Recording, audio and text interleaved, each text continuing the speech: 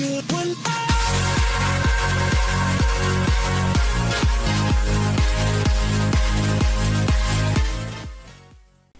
YouTube und herzlich willkommen hier auf dem Kanal von FIFA United zu einem neuen Video hier auf dem Kanal. Und die Leute, ihr habt schon im Titel gelesen, was heute kommen wird. Allerdings starten wir damit nicht zunächst, sondern wir starten mit der täglichen SBC Foot 12. Ähm, baue ein Team rund um diese Foot 12 Legenden auf. Ähm, Bevor ich das jetzt öffne, möchte ich nochmal nachgucken, wer denn überhaupt die Foot 12 Legenden waren. Weil da weiß ich gerade nicht weiter. Also der Endverteidiger, also ich kann ja schon mal raufgehen. Äh, es sind nämlich drei Spieler vorgegeben im Ende, äh, im Endeffekt. Und zwar einmal zwei Stürmer. Beide Brasilien, bei einer von Villarreal, einer von Spartak Moskau. Ein brasilianischer Endverteidiger von Chelsea, weil das, das ist halt safe. Ähm, der gute alte, hier, wie heißt er, David Luis. Ähm, und die anderen weiß ich gerade halt nicht, ne? Also, ja, FIFA 12 gucken wir mal nach. Also ich habe damals halt noch kein FIFA gespielt. Das erste Mal, wo ich Ultimate Team, also FIFA ich bestimmt schon gespielt, aber das erste Mal, wo ich Ultimate Team gespielt habe, war FIFA 14. Ähm, und ich gucke jetzt gerade mal nach, wer in FIFA 12 denn da gespielt hat, wo ich gerade gucke. Genau, ähm, ja. Was war das jetzt hier? La Liga im Endeffekt. Liga BBV. Gucken wir mal nach, ganz schnell. Ist ja für euch, weiß ich nicht, vielleicht auch interessant. Nilma hat da gespielt. Der Nilma mit 92 Pace halt, ne? Das war irgendwo abzusehen, damit der Typ, der gespielt hat, oder der auf dieser Position spielt, halt einigermaßen gutes Pace hat. Ähm, Nilma in dem Fall mit 92 Pace und bei Spartak Moskau hat ja gut, der gute Wellington gespielt, auch eine ja, ältere Legende. Der hat ja auch letztes Jahr so eine Karte gehabt, der Wellington. Stimmt, da hat er noch in der Super League gespielt. Letztes Jahr, der hat auch Forster Skills, Forster Weakfoot, der Nilmer. Und Wellington hatte auch Forster Skills, Forster Weakfoot. Beide mit über 90 Pace. Wellington noch mit 81 Schuss, 82 Kopf war damals. Nilmer halt nicht mit so viel Schuss, aber dafür gutes Dribbling noch dazu. Also das waren die damaligen Legenden und ich denke mal, dass jetzt David Luis in der Endverteidigung. Gehe ich jetzt einfach mal von aus. Ähm, ja, darum müssen wir ein Team mit mindestens drei Brasilien-Spielern oder Brasilianern bauen, mindestens drei Silber, mindestens drei Gold und nach 95er Chemie, alles easy machbar. Einfach nur Brasilianer hier reingestellt, außer ein Rechtsverteidiger, weil ich da keinen Bronzespieler hatte und das war mir dann auch egal, weil die Chemie eh easy gereicht hat. Acht Spiele auf Loyalität, aber trotzdem müsstet ihr es easy 1 zu 1 nachbauen können. können, weil alle, fast alle auf die volle Chemie kommen, nur die beiden hier halt nicht. Und das ist trotzdem mehr als genug. Ähm, sollte, denke ich mal, klar sein, einfach fast nur Brasilianer reingehauen um ja die Chemie voll zu kriegen und ja, easy halt. Ne? Also es war keine schwere Challenge wieder mal. Gibt auch nur ein kleines Prime Gold Spieler Set. Allerdings gibt es ähm, hoffentlich heute noch ein paar andere nice Packs. Was ist hoffentlich? Wir hoffen mal, dass die von der ähm, End of an Era Karte, die äh, von End of an Era Challenge, die Packs besser noch ein bisschen reinhauen werden, ähm, weil gestern kam ja schon ein nice Video online mit einem richtig sicken Pull. Guckt euch das auf jeden Fall an, wenn ihr es nicht gemacht habt. Ähm, war auf jeden Fall nice. Ansonsten KKs End of an Era SBC wurde ebenfalls released hier und der hat schon eine geile Werte auf jeden Fall. 85 Tempo, 95 Dribbling, 91 Schuss, 89 Passen, 73 Physis. Richtig sicke Werte und ich wollte den machen, wenn er nicht teuer ist und der ist nicht teuer. Man braucht einfach zwei 83er Teams, die voll klar gehen. Ich hatte fast den Großteil, also fast alles im Verein. Hier hatte ich nur Paulinho nicht und André Gomez nicht, die musste ich kaufen. Und ansonsten mussten wir hier ein Team um AC Mailand, Real Madrid und Orlando City, jeweils einen Spieler von denen. Ähm, also wir mussten jeweils einen Spieler von Orlando City, AC Mailand und Real Madrid einbauen. Ein 83er Rating brauchte man und eine 80er Chemie. Ich habe eine 86er Chemie mit, wie gesagt, ähm, oh, der hat sogar auch keine Loyalität. Das heißt, wir haben nur 8 Spieler auf Loyalität. Das heißt, ihr braucht zwei Spieler auf Loyalität oder ihr nehmt hier einfach zwei Positionskarten, dann müsste es ja auch reichen, um die volle Chemie zu bekommen. Dann könntet ihr es fast 1 zu 1 nachbauen, wie gesagt, ohne Loyalität, nur halt mit den Positionskarten wahrscheinlich. Ähm, genau. Ist halt nicht so einfach, weil ich nur Silberspieler oder nur einen Silberspieler von Orlando City hatte, ähm, um da um ein 83er Team zu bauen, dachte ich erst. Allerdings weiß nicht, ob EA das ein bisschen einfacher gemacht hat, weil ich habe dann ansonsten nur noch einen 85er und sonst nur 83er und einen 82er sogar noch drin. Und das hat easy gereicht, hier man sieht's. Ähm, KK wollte ich jetzt eigentlich holen dafür, ist halt die beste Variante, aber der ist halt, oh, den hätte man vielleicht snipen können. Ist er noch da? Höchstwahrscheinlich nicht. Nein. Ähm, der ist halt ex extinct im Moment, ähm, weil der für die Challenge halt perfekt wäre. Wie dem auch sei, ist trotzdem eigentlich relativ, ja, low. Also für mich halt, kostet es halt nichts. Ich habe halt alles im Verein gehabt, deswegen ist es für mich halt billig Estelle. Musste wie gesagt nur Paulinho kaufen und den guten alten André Gomez. Paulinho für 9k, der 83er Upgrade geht auf jeden Fall klar. Ähm, 2,9 für André Gomez ist auch in Ordnung und den Rest habe ich wie gesagt als First Owner im Verein. Ähm, muss man halt gucken, wie man die Sachen im Verein hat, auch wenn man von Orlando City im Verein hat, weil die Spieler werden auch ganz schön ansteigen. Ich hatte zum Glück jetzt hier, konnte ich sogar den Silberspieler nur einbauen, den ich hatte. Relativ simpel. Und, also für den Verein und hieß die Challenge und jetzt und für das Land.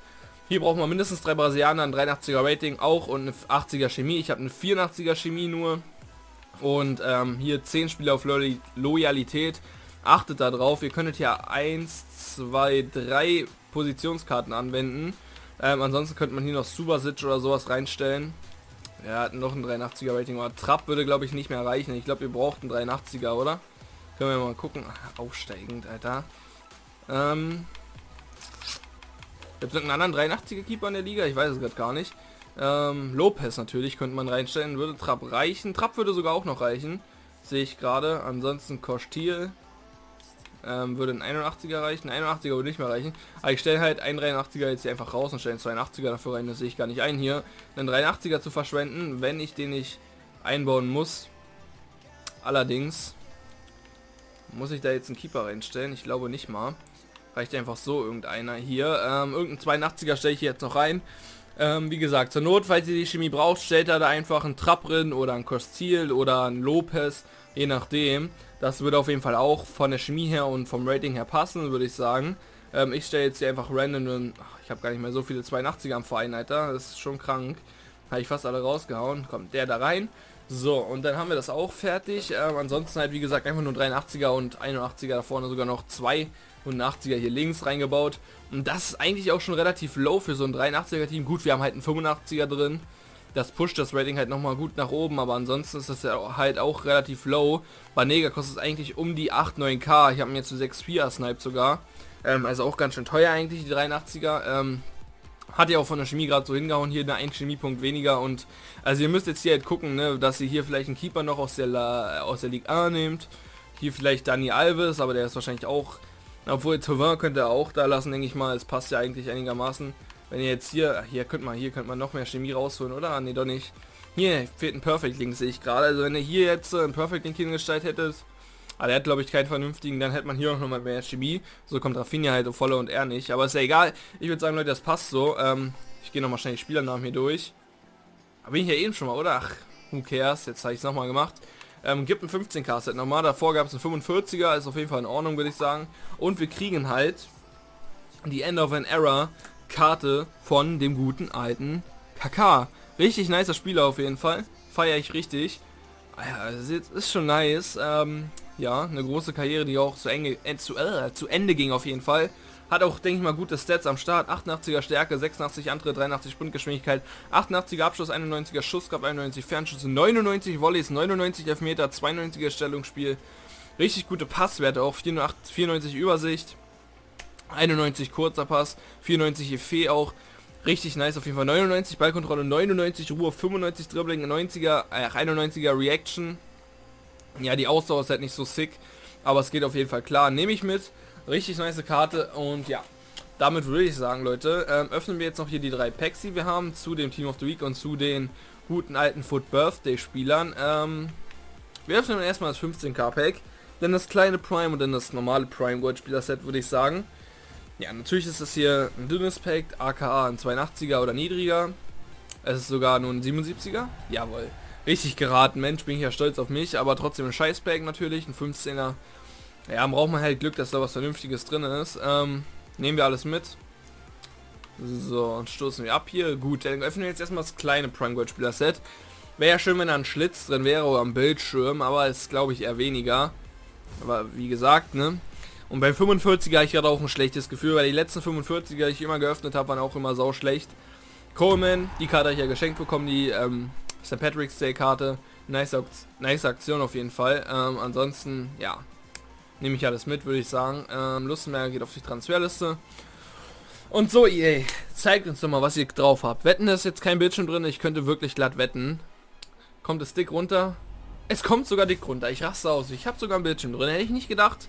Habt ihr ja gehört, ähm, Spanier, ZM, Santi Cazorla. Ist okay, ein 83er, wie gesagt. Ist auf jeden Fall in Ordnung. Hätte ich nie im Leben mit gerechnet, dass ich hier irgendeinen Bildschirmspieler ziehe. Weil, ja, Oh, 383er sogar, das ist ordentlich. Perin kriegen wir gleich wieder zurück Topper kommen wir, äh, bekommen wir hier auf die Transferliste.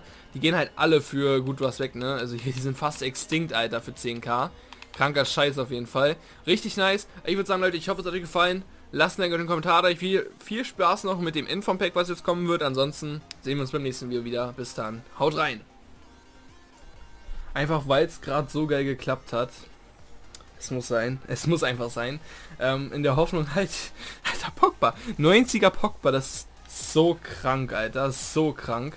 In so einem Pack, wo halt nur ein Random EF über 81 aus allen Team of the Weeks drin ist, ziehe ich mal fucking Pogba, Alter. Das muss man sich mal durch den Kopf gehen lassen. Komm, nächste Chance. Brasilien. Ist okay. Marcelo ist okay. Nehme ich mit. Ist ein 83er sogar. Nicht schlecht. Für SBC ist ganz nice. Gut. Aber damit ist das Lack dann halt, das extreme Lack, auch wieder weg. Dennoch ein Pogba, Alter. Boom. Oh, ich habe sogar den im Verein. Hatte ich mal in einem Team gehabt.